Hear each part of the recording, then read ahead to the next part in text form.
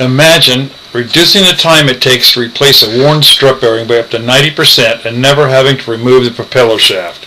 You can with the Strut Pro Cutless Bearing Replacement Tool. It's easy, it's damage-free, and you never have to change critical alignments. There is no cutting, no beating, no destruction of any kind. Strut fasteners and bedding will not require repair because there is no pressure applied to any area other than the strut. Now how does that sound? Let's look at the old way of replacing a cutless bearing. First you remove the prop, then the flange on the transmission, then the shaft, sometimes even the strut. If the rudder requires removal, then steering is involved, and that will require many hours of labor. There's a lot of time involved, and it's not always damage-free. With the Strut Pro Cutless Bearing Replacement Tool, you can do the same replacement in a fraction of the time because you don't remove the shaft or strut. It can often be done in as little as 15 minutes. The Strut Pro kit contains the following parts. Pay particular attention to the nomenclature of each because I'll be referring to them throughout this instructional video. The kit contains a forward yoke, that's the open yoke shown here at the far end of the assembly, an aft yoke, it is closed and it's on the near end of the assembly shown here. 11 horseshoes fit diameters in incrementally larger sizes from 3 quarters of an inch through 3 inches. 7 sets of zinc-plated high tensile strength steel collets. These collets are stackable and will fit all shaft and bearing combinations up to 3 inch diameter bearings. Two hook and loop collet retention straps, two sets of horseshoe retainers, four threaded rods. The threaded rods come pre-installed with two oil-impregnated bronze thrust bearings. This gives you extremely smooth operation without hydraulics. These are pre-installed on the threaded rods and each is sandwiched between two flat washers. Also included are two machine collared nuts for the forward yoke. Here are the steps necessary to replace your cutless bearing using the Strut Pro Cutless Bearing Replacement Tool. Remove the propeller. Closely inspect the strut for any set screws used for retaining the strut bearing. Sometimes the strut screws have been painted over with anti-fouling paint, so it's important to remove any set screws before proceeding.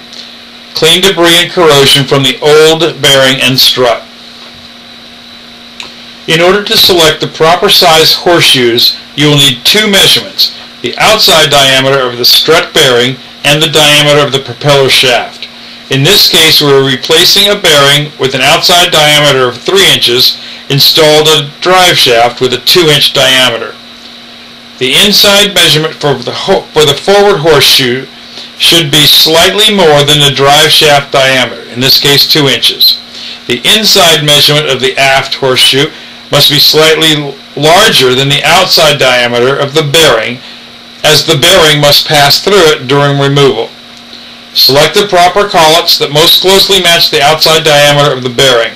Do not exceed the outside diameter of the bearing as you could jam the collets into the strut. Collets are designed to be stacked to fit a wider range of bearing di diameters. Special shim materials provided for 3 quarter inch and 7 8 inch shaft sizes as well as metric and any off-size dimensions. Position the collets onto the propeller shaft forward of the strut. Secure the collets using the hook and loop straps provided. Position one strap approximately 1 inch from each end of the collet and pull snug. Rotate the collet so the seams are on top and bottom. This will maximize the surface area of the collets that contacts the forward horseshoe.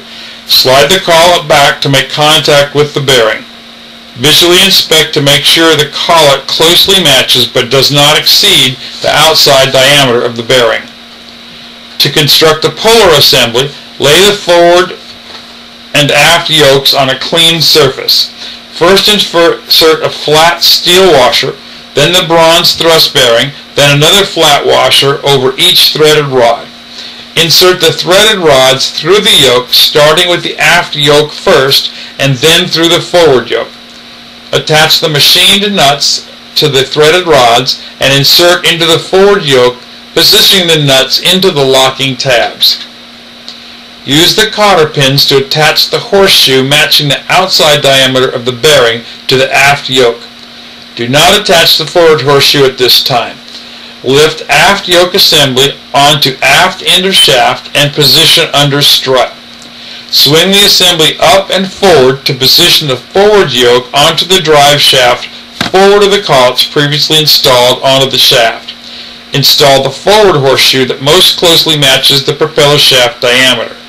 Insert the cotter pins through the horseshoe and into the yoke to hold the horseshoe in place. The tool is now installed and you are about to remove the bearing. It is very important to apply equal pressure to both threaded rods. Begin by hand turning the welded nuts clockwise. This will compress the puller assembly.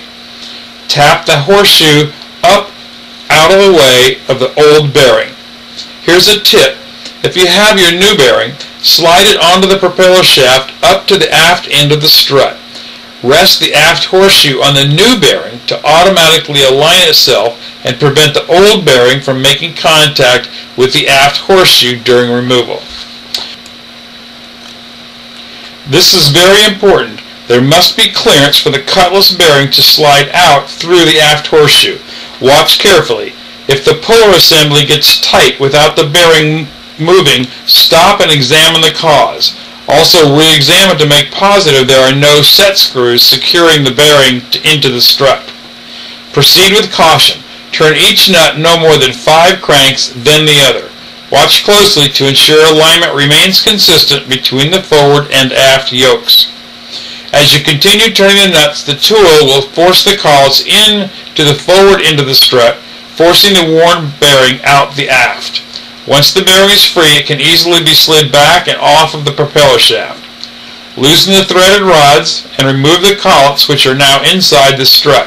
This might require tapping the collets to free them from the strut. Holes are provided in the collets for this purpose. Use caution not to damage the propeller shaft or strut.